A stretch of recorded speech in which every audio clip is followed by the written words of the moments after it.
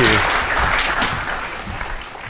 Well, first of all, um, thank you very much for the invitation to this beautiful campus. And uh, I think uh, a piece of public lecture should be a nice piece of green tea chocolate for this Valentine's Day.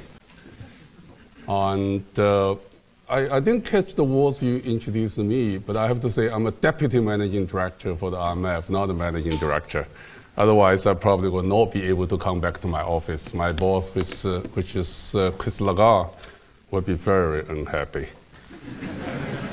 um, you are the new generation, and you are facing the new war. So I would like to show you something really new. It seems to me the world has been changing in the past 15, 20 years, and our understanding for the war, particularly economic world today, is completely, completely different from, say, 10 years ago. So I will call this talk, I will call it a new and a challenging world. It's new and it's challenging. So I'm going to go through the four things. One thing is the cluster structure of the global economic system. And because the cluster structures, we're living in the hyperconnectivities and the spillover becomes such a big issues for us in the economic affair world. And then I come to today's economic situation I call the new normal, and then come to the policy agenda. How do we deal with this new situation as well? The first issue is the cluster structures. This is the world we see every day. It's difficult for me to see that. Let me move to here. This is the map we see every day, right? It's nothing wrong, nothing new, and countries positioning itself nicely, and I'm sure you can find the UK. Now, I try to see if I reposition a country and the graph structure by its GDP. So I call an economic map. How this map will change? Oh, the machine was not happy. he should, should give me music. If you're looking for, this is a Russian, okay? You see what happened? Russian become very small. Uh-oh. This is the country defined by GDP. The map about economic power. You see, US is very big, China also second big, and the UK is, here is quite big as well. Now I want to see further. If I define the countries not only by GDP, but by trade, because in today trade is such big issues, how the map will change and the map indeed change again. Look the map. You see the Europe become very big because intra-European countries trade account more than 60%. So it's become big trade areas. So trade is a big issue for the whole region, which is good and which is bad, but we'll come, come to that la uh, later. But you do change the map. Now, the most interesting is today, because financial sector is such an important issue, so capital flows moving in, move out across board. So if I measure country by financial flow across board, let me say again, across board, not financial assets sitting in the countries, how the map will change. Look about China. This is China. See? China become very, very small. Wow. Anyone want to guess? What is this country? 100 pounds. Exactly, Luxembourg. You must be a professor. Since you're a professor, I'm not gi- give to you 100 pounds.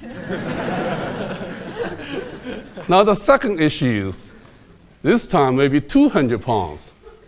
What is this?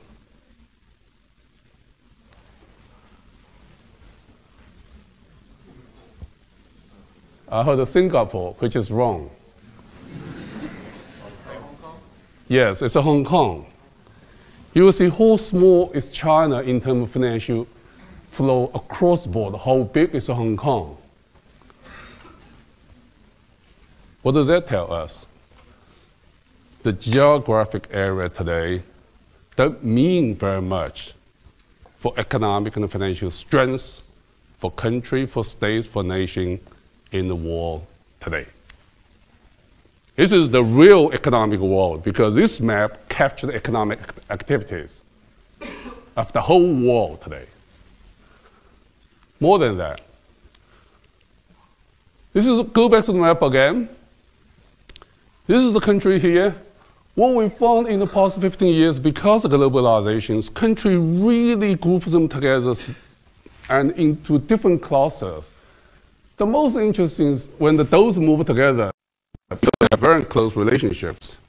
The first we found the world divided a few clusters. The first big clusters we call the advanced economy, which is very much the service the financial sectors. And the second cluster is Asia, I call the vertical supply chain clusters.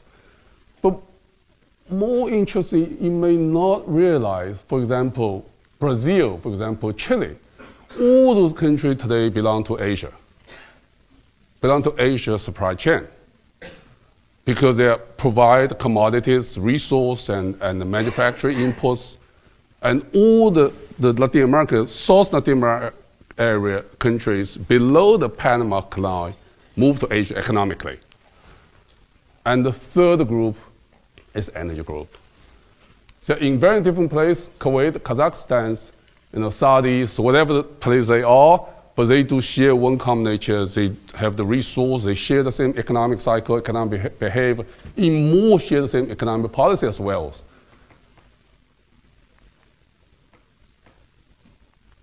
Now, the world is not organized this way before. This is very different from the concept we, ha- we had before. We say it's a three world, the first world, the second, the third world. It's not. It's the world that defines three clusters by economic interconnectivities. Now, let me show you something. This is the map. This is Europe. And the Europe before Europe, they have very interesting economic structures. There are two centers in the Europe economically. The the southern center have a core, which is France and Italy. Who is the core of the northern center? Five hundred pounds. What country is the core of northern center between the 84 to 99?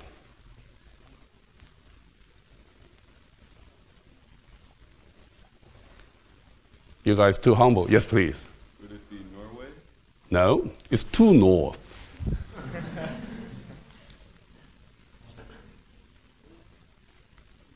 it's UK. UK was the core of the northern center.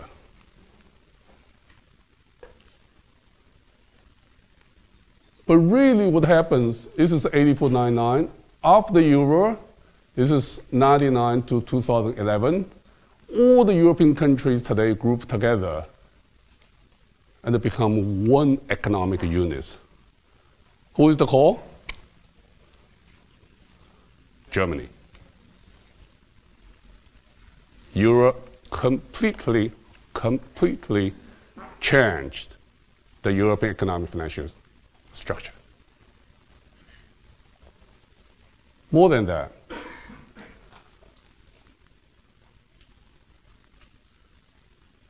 What we found is more interesting today. The world is linked to each other, country linked to each other, not by linear relationships to those. Like everybody go to New York is not the case. What we found that global economics is organized or textured by I call the cluster structure. For example, it's a small cluster, small group. They have a gatekeeper. This gatekeeper will bring this small cluster, small country of group to the middle or, or, or group, and the middle group will bring to the core. So then it's a group to group to the core. That's the way the economic and financial sector link to each other today. Because it's a cluster structure, the interactions, the interconnectivities increase dramatically. Here's the real case. For example, this is seven clusters in the, in, in the European area. You will see, for example, this is Greece, this is Bulgaria, this is Romania, it's the whole thing. The gatekeepers, Austria and Italy. And there's a Hungary, the Czech, it's a Slovakia and the Poland. The core also is Italy and Austria. You will say, why Austria? Never thought about that. Why Austria can be a gatekeeper for small group of countries in Europe? Back to history. Because Austro-Hungary Emperor, 150 years ago. You know, it's very interesting. The business relationship is really go deep roots back to the history and move into the future and, and, and, and exist today. So the country, if you have economic activities issues, for example, if you issue the bonds, some things happen in New York, it's not everybody go to New York to buy the bonds. It's rather go through the clusters, the gatekeeper brings them to the wall and go through further. And let me give the European case. So is this the, the, the European case? Is this a real case? For example, is this, is this a, a Latvia? In Latvia, for example, in the Latvia financial connections, it will go through Finland and Sweden. It not go to UK di directly. And Finland will go to Germany, and the German will go to UK because UK obviously is the global financial center. Yeah, you say, I have an email right? I can send email to whatever the people in the UK easily say, I want to buy whatever the shares, whatever the stock, whatever the assets. No, in the real life, it doesn't work that way. So there's a texture behind the economic activity that we fall, but it is much richer, much complicated economic textures, far beyond what we understood before. So this is the global trade clusters. This is Asia and Europe. You will see China play China, Japan. Actually, China is close to the core, and bring all the region to the world. The core, and this UK, France, and, and the Netherlands, Germany bring all the European countries to the core.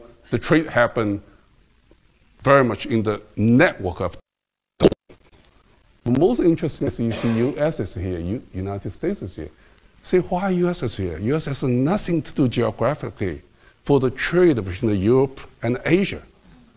Why is the U U.S.? Because U.S. is such an important global economy. It provide all the financial trade financings, provide all the logistics su supplies. So even the trade between the Europe and Asia, U.S. is a core. Once again, the whole concept goes far, far beyond what we thought defined by geographic area. This is a real economic map. This is a machinery cluster I moved over. So because it's a new cluster structures, the world is so linked to each other, much, much more than we thought we live in really a hyperconnectivity, connected world as well. Because time side, let me go through. Let me show you one thing. This is a co-movement of the global financial market. The three market is the equity market, the currency market, and the bonds market. You will see the co-movement for those markets is very high, roughly from 40, 50% to 70, 80%, roughly in 10 years horizons but also the common between and among those three markets increased dramatically, particularly in the financial crisis. You see, the global currency market communes increased dramatically. Global currency market and equity market move closer to, to, each other, which is absolutely amazing. If you are a financial major, you know equity market and currency market never move together. While the currency market doesn't move because dollar become the safe haven. So the, the, the, the capital flow move into other directions, move, move into the US market.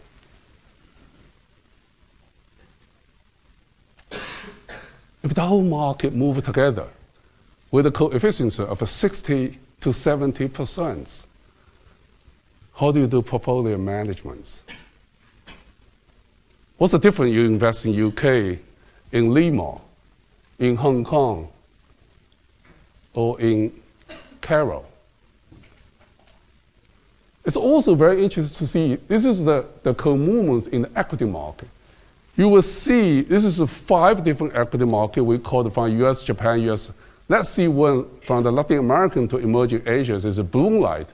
So the equity market co-movements between the Latin American market and emerging Asia, you see roughly 10 years ago, it's roughly 42%, and today it's 81%.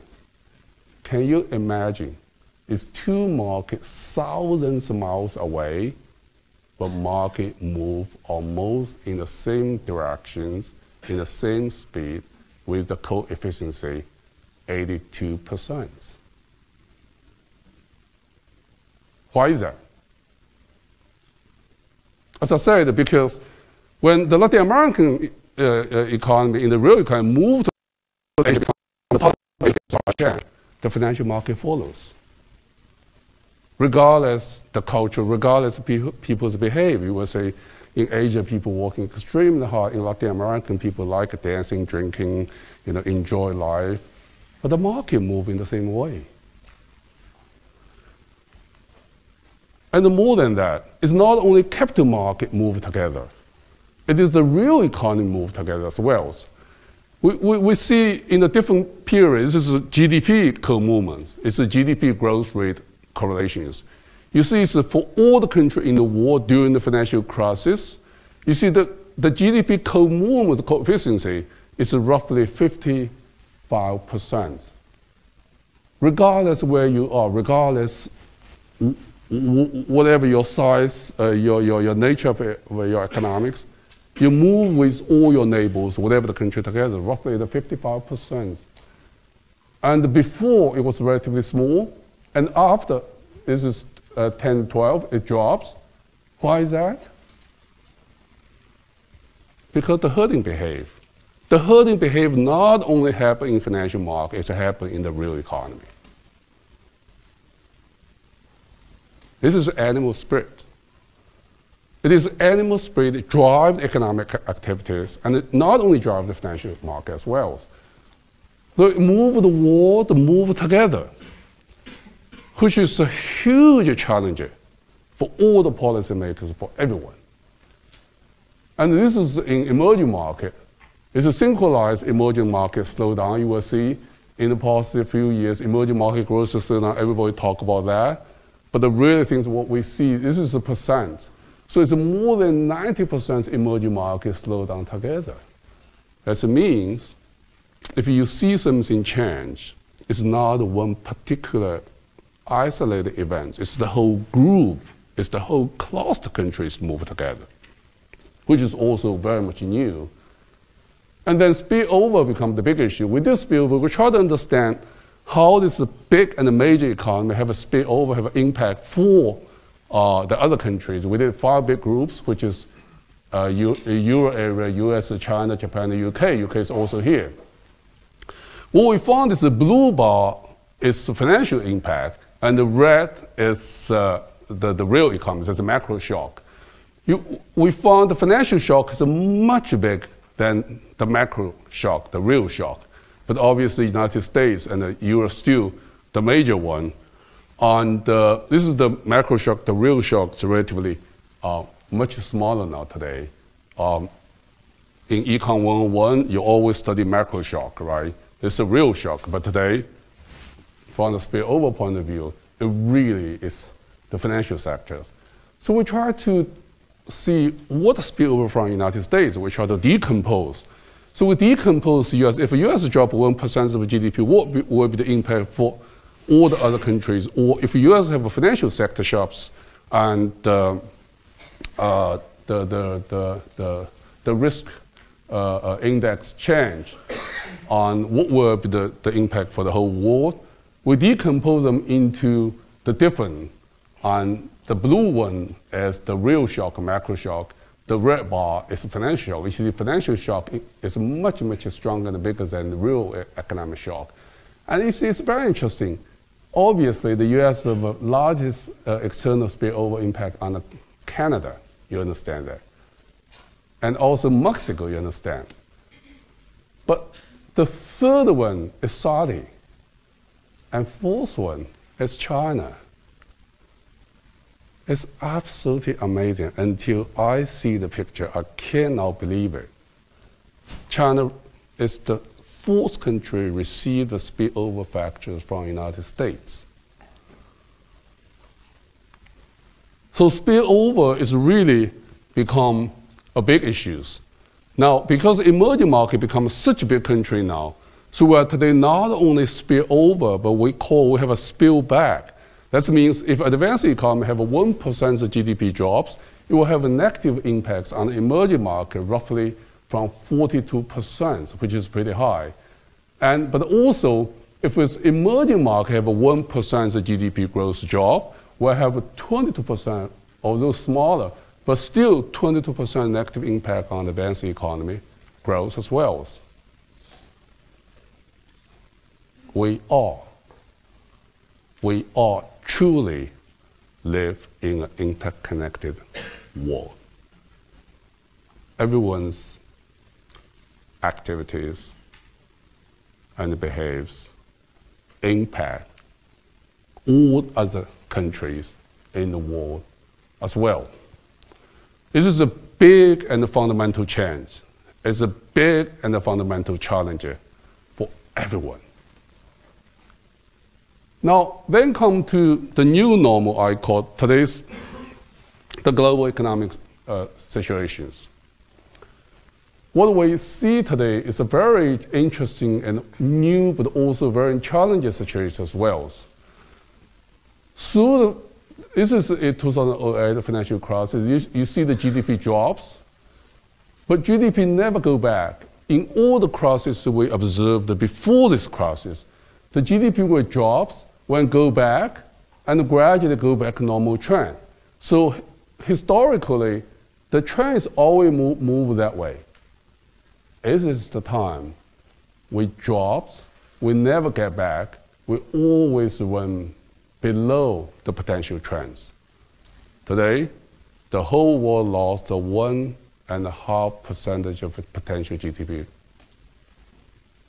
of the whole world in the past seven years and look quite like we're permanently losing this gap. I don't see any chance this curve will be able to go back. Now, this is very new because we experienced so many crises before, but this is the first time we see we drop or we never go back. Why is that? And the growth is, is weak. And what we found is very interesting. If we decompose the world demand, we will see the first issues. The global investment to GDP ratio today, 2013, compared to 2007, is, a, is a lower, even with the strong investments in the emerging market. And you will see the consumption is a little high. A really drive the growth is government expenditure, which is normal in, in almost all the crises we experienced before, but this time, in seven years, the share of government increased 2 percentage of a global GDP, which is really big. More than that. You will see the trade. In all the time, the trade growth rate is roughly two times of GDP growth rates. This is the first time, 2008 to 13, the trade growth rate is lower than global GDP growth rates. It never, ever happened before. More than that. What's most interesting is FDI flows. The FDI flow actually from 2000 peaks and gradually dropped down today compared with 2007. The FDI in terms of share for global GDP roughly from 4.2 uh, to 2.8. The whole world lost roughly 1.4 to 1.5 percent, the global GDP of FDI. Why is that? We lost FDI, we lost the trade, and we lost investments. Those are the real cause behind to make the growth so weak. And because the growth is weak and inflation expectations is very low, so we are facing and deflationary pressures. So if you're looking for the five-year, five years forward inflation swap, you, you see the rate is always on downside and the continue on downside in the past few weeks as well, which become the one of the big potential risks for the whole world as well. More than that. When we say government expenditure become the main drive force in the past few years to support the global growth because the share of uh, G increased two percentage points, that means the growth in the government expenditure is much, much stronger than GDP growth. So government's share in GDP increase, right? It's very simple. But the government debt also increased. In the advanced economy, you will see the government debt increased roughly from 73% to 106, and we expect to see them gradually, gradually slow down to 100% uh, to 2020, still 100%, which is way, way high. Even in the, in the emerging market, we'll see the adjust on the government deficits is slower. This is 20, 2012. We expect to the deficits drop on that way, but the, the real curve the deficit remain and did not drop at all, drop should go up. So both in the emerging market and advanced economy, the fiscal situation is deteriorating. What does that mean for growth, for that? What we see is if you want to lower the debts, the three things very important. You need the, the debt growth to be slower.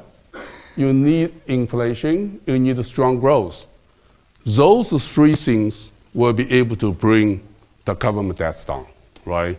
The inflation rate make the debts not real, and the growth drop the debts because the denominator become bigger, and you have a slow debt, debt increase.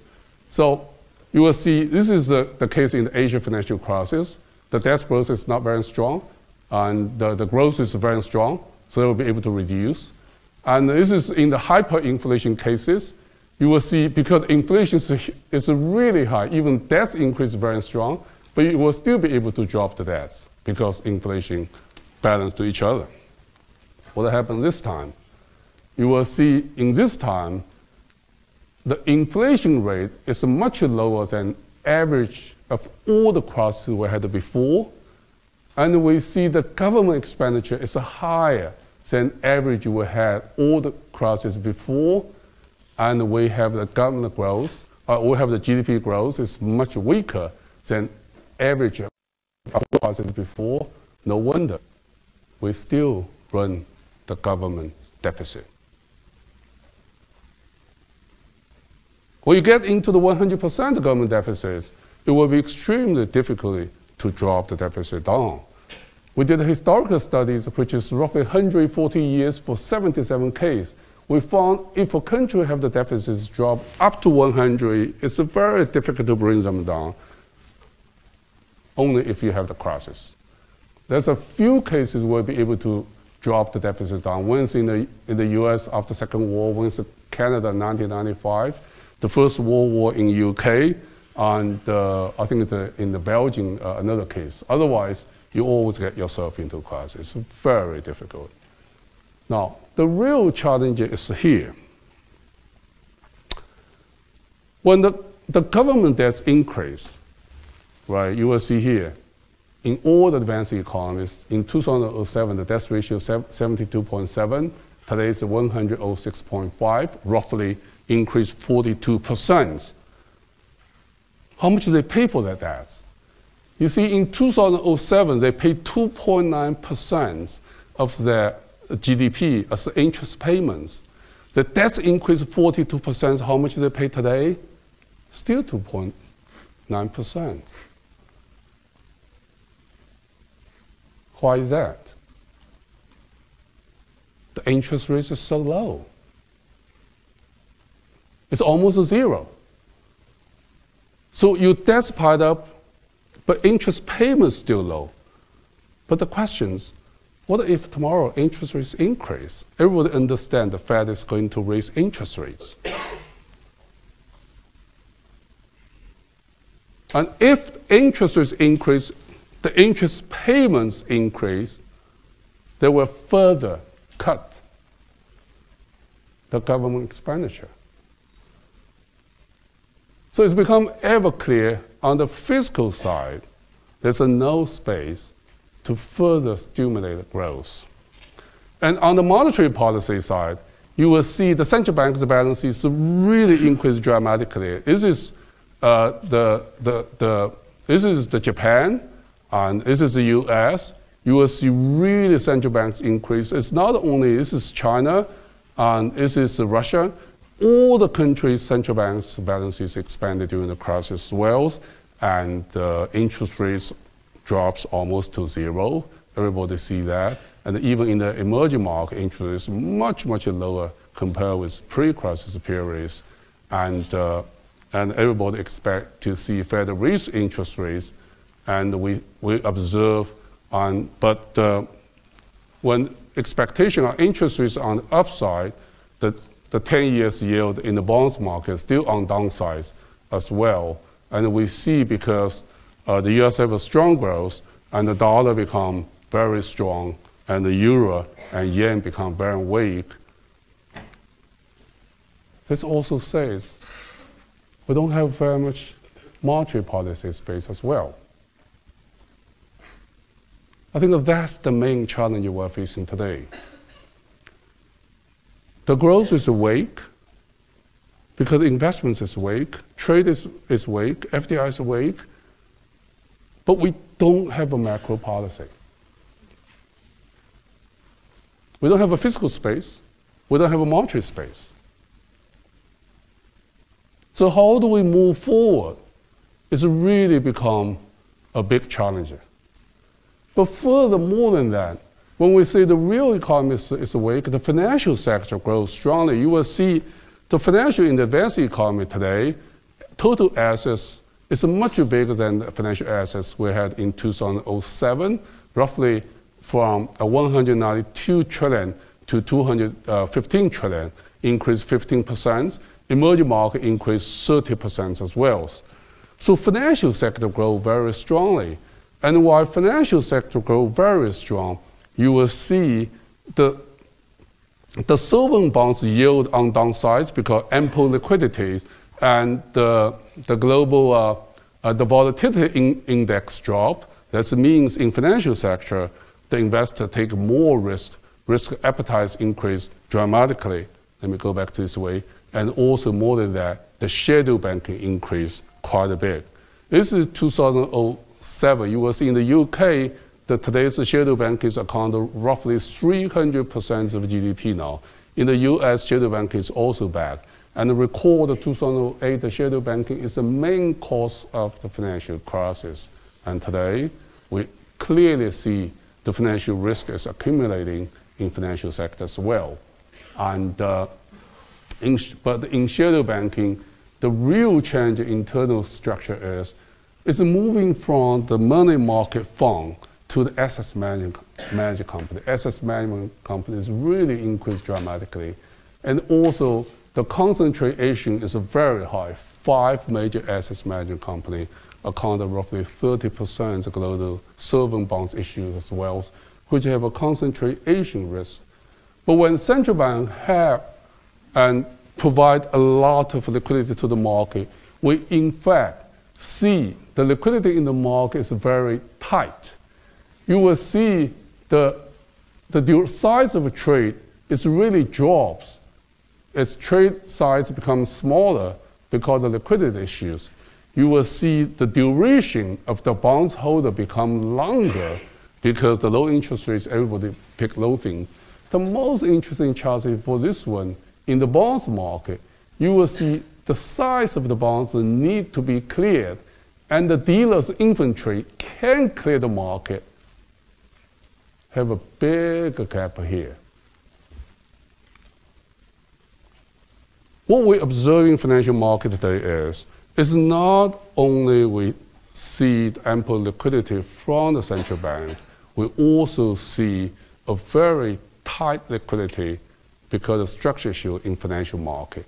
So we have, I call, the illusion of liquidity in the financial sector, which is quite a big risk for today's action as well.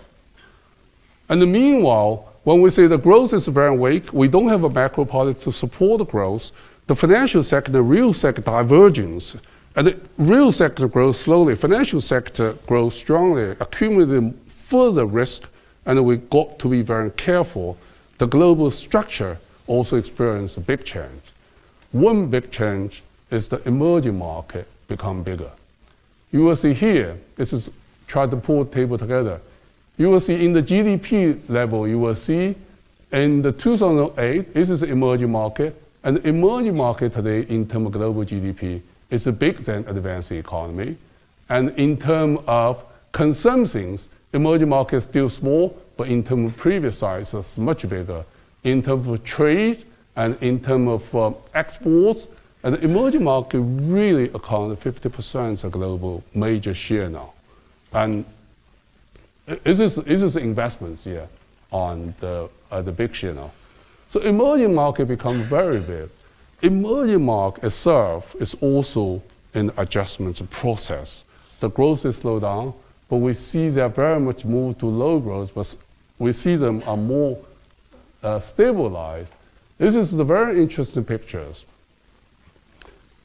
We try to capture to see what the path for the development for the emerging market. So I call this a vertical is a growth. It's a horizontal, I call the catch-up index, which is per capita GDP of an emerging market in terms of a per capita GDP of the United States. Because when you grow, you, you don't want to have the growth. You want to have a growth, but more important, you want to catch up. You want to, your per capita life standards and more or less pair to the advanced economy. I think that's the goal. US is very interesting. In the 60s, they start pick up, growth become very strong, and the convergence income moving to from 15 to 20 percent.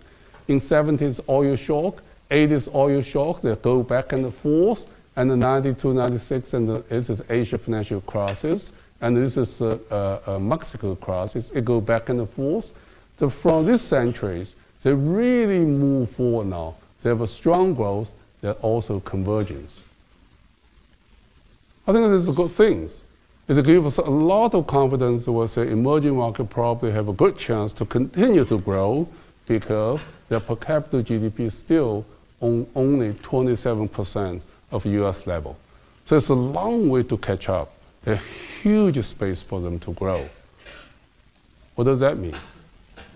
That means the global growth gravity is a really move to the emerging market.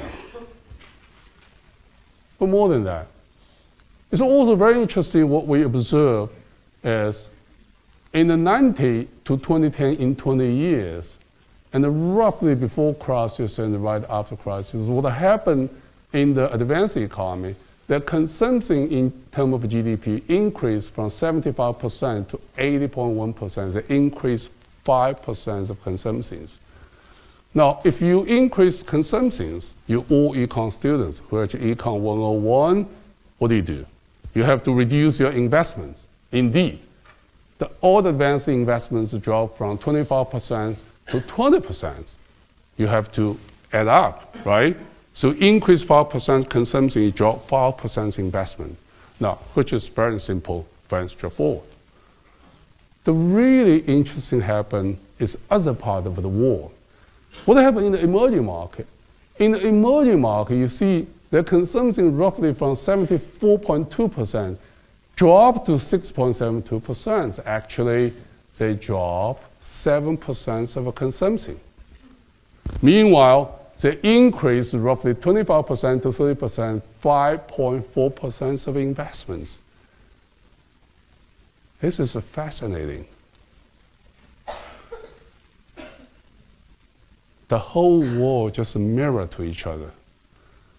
What happened before crisis before 2008 financial crisis, advanced economy actually consume for the whole world. So the consumer increased 5%. They reduce investments and emerging market invest for the whole world. And they increase 6% of investment, reduce 7% of consumptions.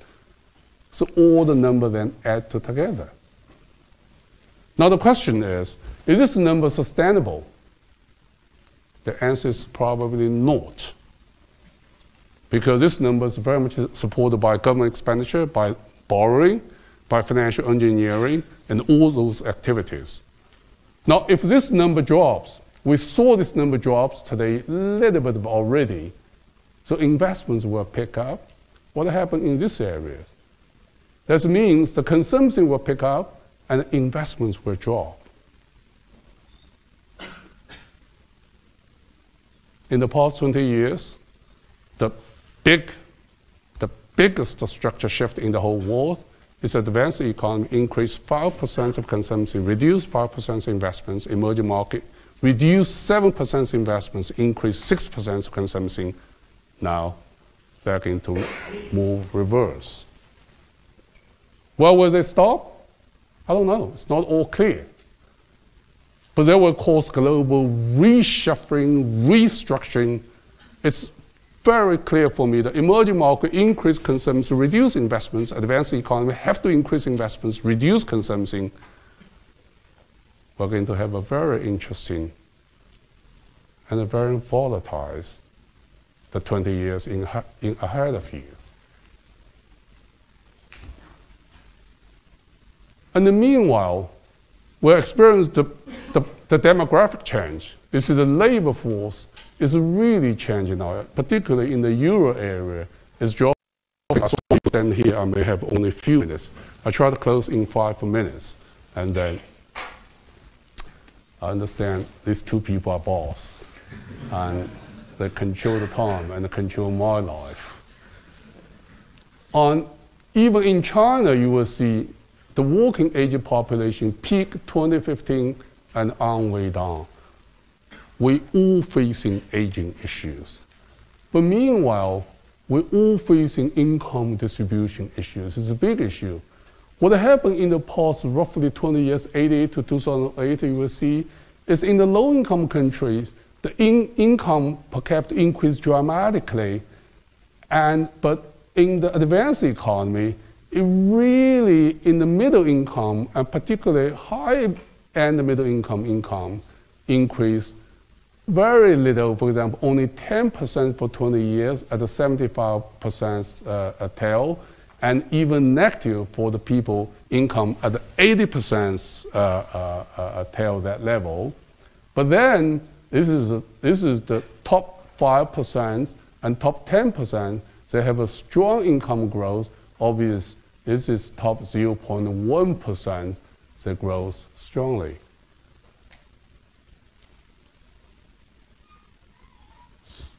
This is a good part.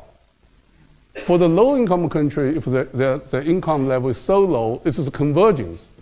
But this is not easy part. If you see the middle income uh, classes have a lower, even negative income growth, but 10% or 1% people have a very strong growth. Politically, it got to be very difficult. The most uh, the challenging issues here is the productivity growth in the past 20 years. It's volatile, but it's really on downside. You will see all the countries we see here. It's the United States, the Euro, Japan, and the UK. You will see all the productivities is really on downside. It's various reasons to explain them to them. Lower investments, lower labor participations, lower R&D long-term investments, all will. But that's the key issues. Now, if we're pulling them together, we'll see the world is changing. We'll live even closer, live in such interconnected worlds, and the growth is weak because we don't have investments, we don't have a trade, we don't have uh, FDI. It really symbolizes changing globalization and we don't have a aggregate demand side policy. We don't have a fiscal policy space. We don't have a monetary policy space. And the divergence between the real economy and the financial sector become a real concern now, But meanwhile, global experience another fundamental structure change and, uh, and the shifting between advanced economy and the emerging market, and we all suffering experience the three fundamental change in income inequality change, productivity change, and also the demographic change as well.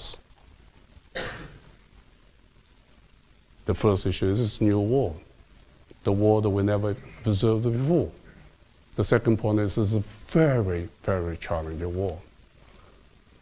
So, since we don't have a demand side policy, I think the policy will have to move to supply side. That means the first issue is we need to do structural reform. We need to do the product market and competition improves.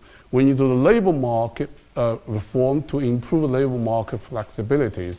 We need to increase service sector productivity, which is a key issue for almost all countries, particularly in the advanced economy, and the pension reform as well. But we need more smart investments It's not only invest in the infrastructure area, but also into another economy in a long-term R&D, innovation SME, and also uh, we need a measure to move tradable sector to their frontiers, and we need to invest in the long-term human capital as well. I think the smart investment become more important, and we need a supply side policy to supporting the monetary and fiscal policy to support, use the aggregate demand side policy to support the, the, the supply side policy as well. It's not driven by demand side, uh, rather it's driven by supply side, but use the demand side policy to support on the, uh, the supply side policy well. Now it's easy to say, right? We've been talking about structural reform for decades. Every politician talk about they're going to structural reform, but really, are they delivered? Maybe, not very much. Why is that? Because at the macro level, it's always relatively easy to use the aggregate demand side policy. Politically, it's much more challenging to use the supply side policy to do the structural reform because you're changing people's. But it seemed to me it's a must.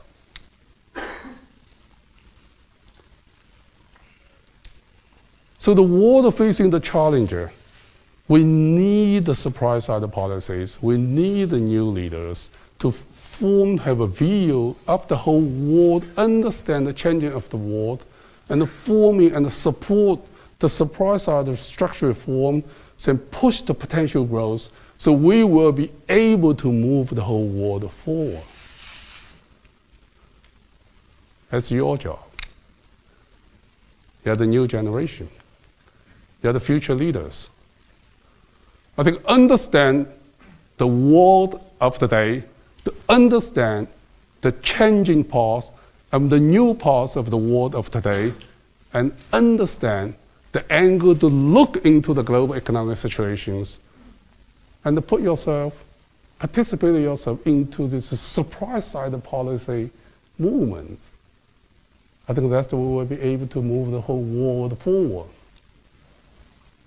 That's the message. That's the story I want to bring to you today. Thank you very much.